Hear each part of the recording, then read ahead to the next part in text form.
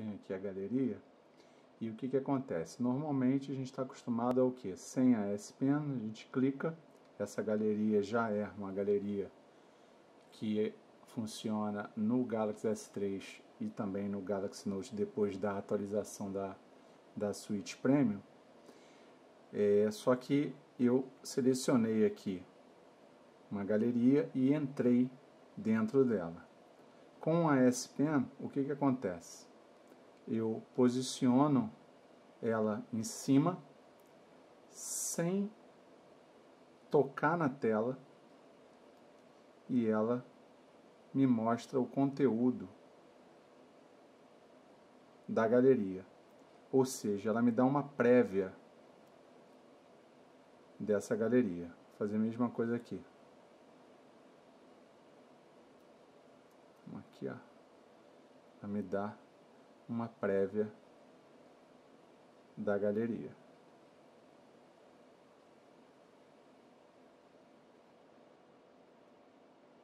E quando eu toco, aí sim ela abre e exibe.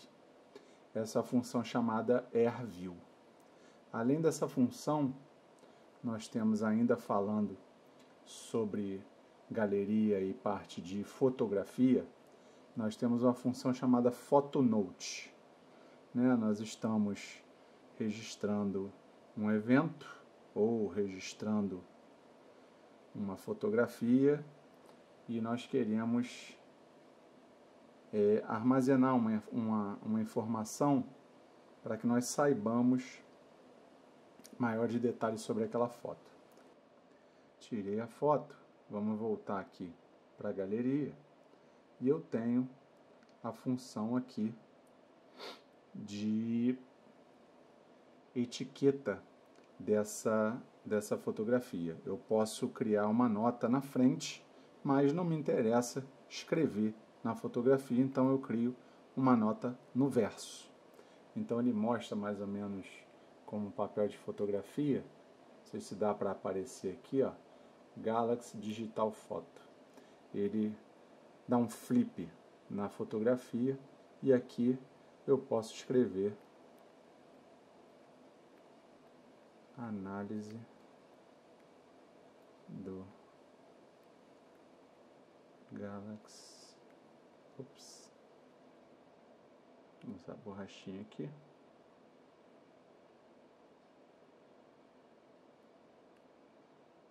Análise do Galaxy Note 2. Aí dou um ticado aqui em cima e salvei a informação. Quando eu salvo essa informação, o que, que acontece? Eu fico aqui com esse indicativo. Então, isso daqui quer dizer que eu tenho uma informação sobre essa foto tirada, que eu posso continuar editando ou posso simplesmente apagar. Por hora não vou fazer isso, vamos voltar aqui, sair da galeria. Além dessa função, nós temos uma função chamada Easy Clip. Essa função é bem interessante quando a gente está navegando. Carregamento bem rápido.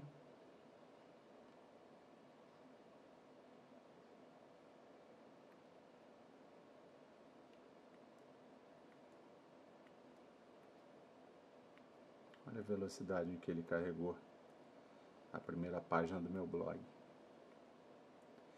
Então nós estamos aqui e achamos uma coisa interessante. Então, a caneta ela tem um botão. Quando eu pressiono esse botão, eu marco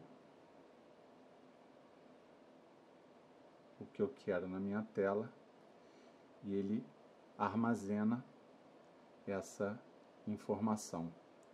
Essa informação vai para uma área de transferência e a gente pode a qualquer momento utilizar ela em outras anotações. Marquei e agora eu quero fazer o que? Eu escolho aqui embaixo para onde eu vou mandar. Vou mandar para o Facebook. Ele já entra automaticamente no meu perfil e eu posso aqui escrever o que eu quiser e postar automaticamente no Facebook. Então vamos escrever aqui mascote. Opa, vamos dar um espaço aqui. Espaço a gente dá assim. Do blog. Tá lá escrito aqui em cima e publicar. Vamos voltar aqui para home. Vamos entrar no aplicativo do Facebook e ver lá o que, que aconteceu.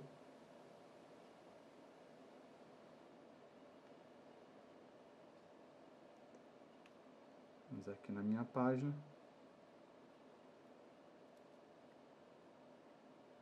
Está atualizando. Carregando aqui. Está lá uma captura que eu fiz de um pedaço do blog em forma de imagem utilizando a S-Pen. Esse recurso é chamado Easy Clip. Vamos voltando aqui para a tela. Nós temos aqui uma função também de comandos rápidos. Você pressionando o botão e arrastando no sentido é, vertical para cima, nós temos umas funções pré-definidas. Vou mostrar para vocês aqui a câmera focar. Então, olha lá, se eu coloco aqui uma interrogação e escrevo clima, ele me dá uma informação de clima. Se eu coloco o símbolo do arroba mais o nome da pessoa, ele vai direto para o aplicativo de e-mail para que eu escreva o e-mail. Se eu colocar uma exclamação e o nome do local, eu tenho uma informação aqui de mapas. Então vamos fazer aqui um teste aqui, por exemplo, de mapa. Exclamação. Ops. Exclamação. Rio. Indo para o local, ele automaticamente aqui me posicionou aqui um mapa entre Rio e Niterói. Nós temos também a função Pop-up Note. A função do Pop-up Note é a seguinte: durante uma ligação, você precisa fazer uma anotação. Então você pressiona também o botão próximo à tela e ele abre o S-Note. O S-Note é aquela função aqui do lado que nós temos da página de contexto e aí ele abre automaticamente esse aplicativo e a gente pode fazer anotações durante a ligação e não esquecer de determinado assunto que foi conversado. Vamos retornar aqui. É, não sei se vocês notaram, nós temos aqui na tela de bloqueio algumas informações. Essas informações nós configuramos, inclusive essa daqui que mostra o microfone. Eu já configurei previamente. Existe aqui uma função na tela de bloqueio que a gente pode configurar em português mesmo, é, comandos de voz. Pode vir aqui embaixo, aparece o microfone e eu vou acionar a câmera. Ele entra aqui no modo câmera. Essas funções e personalizações da tela de bloqueio nós fazemos aqui através do menu de configuração, tela de bloqueio, e aqui nós temos aqui a opção de tela de bloqueio. Vamos aqui falar da parte de jogos, como eu sempre faço em todas as análises do blog.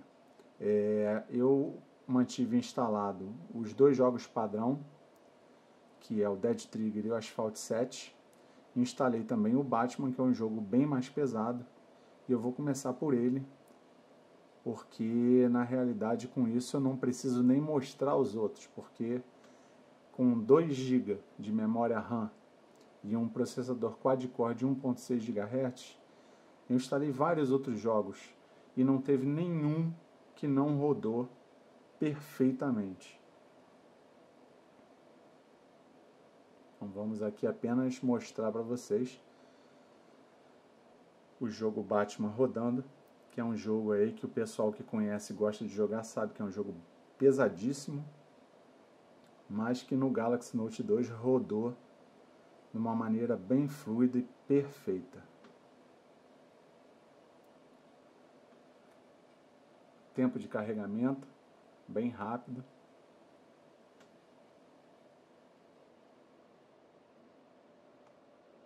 A melhor posição aqui para mostrar para vocês. Carregando o jogo aí todo para a memória. A parte das fases.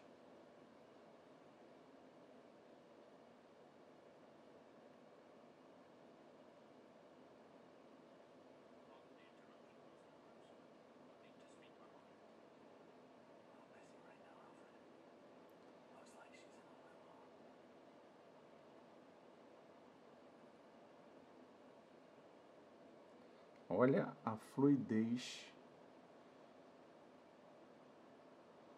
do comando de toque na tela dentro do jogo. É perfeito. E aí eu digo para vocês que faz a diferença a tela de 5.5 polegadas. Nós movemos os dedos nas laterais e conseguimos ainda uma área muito boa para jogo.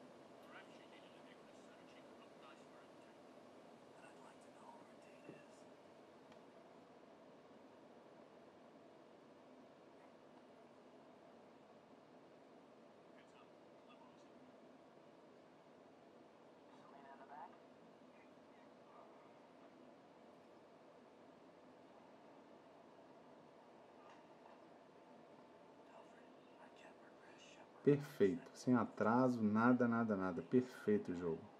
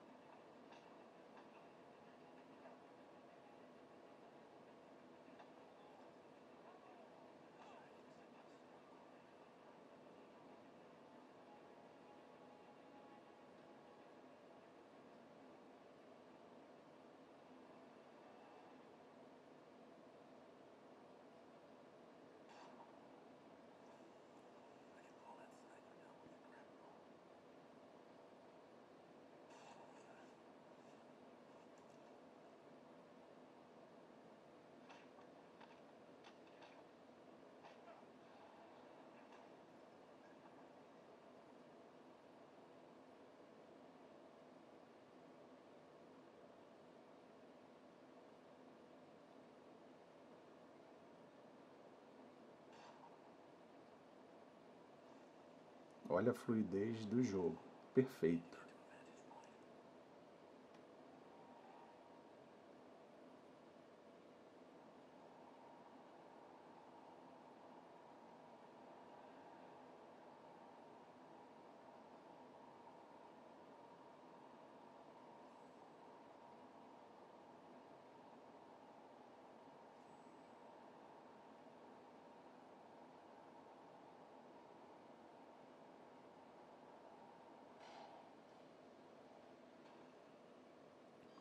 Primeira fase concluída. O jogo flui, que é uma maravilha. Estou impressionado com o desempenho do Galaxy Note 2.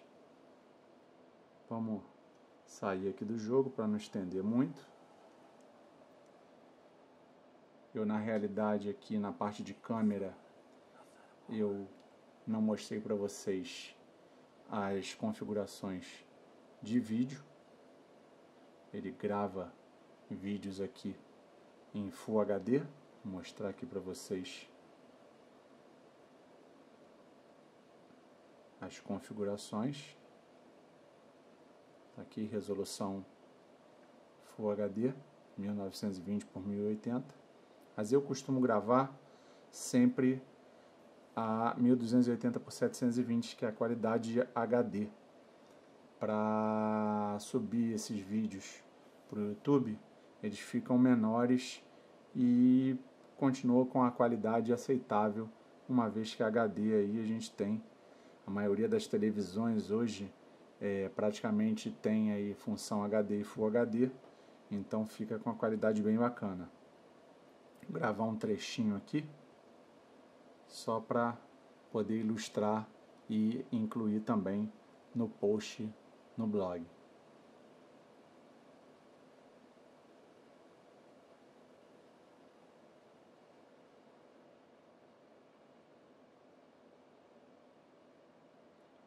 Prontinho. Gravado só um pequeno trecho só para ilustrar. Vou ver se eu consigo capturar umas fotos externas também para mostrar a qualidade para vocês. Falando com vocês sobre a função de gravação da câmera, os vídeos em Full HD, eu lembrei aqui de uma coisa interessante que eu estava esquecendo, não posso deixar de citar. Falando ainda sobre a utilização do Galaxy Note 2 com S Pen, vamos entrar aqui na, no Video Player, né, a galeria de vídeos. É, como eu ilustrei para vocês, na parte de galeria, existe aquela informação em que você, antes de entrar na galeria, né, o AirView, você consegue só de tocar na, em cima da galeria sem encostar nela, né, chegar próximo com o sensor da caneta, ele mostra o conteúdo da galeria. Aqui na parte de vídeo, quando nós encostamos, né, quando nós nos aproximamos, ele mostra aqui uma prévia do vídeo. Ó, vou tirar aquele vídeo que eu gravei, vou colocar ele aqui, ó ele aumenta e mostra um pouco maior. Aqui mesma coisa. E tem também a função aqui do vídeo em janela. Nós podemos mover o vídeo para qualquer lugar e nós conseguimos, por exemplo, deixa eu dar um pause aqui nele, deixar ele aqui ativo e vamos aqui abusar um pouquinho do processamento. Vou carregar um jogo e vou deixar o vídeo rolando menorzinho aqui em cima.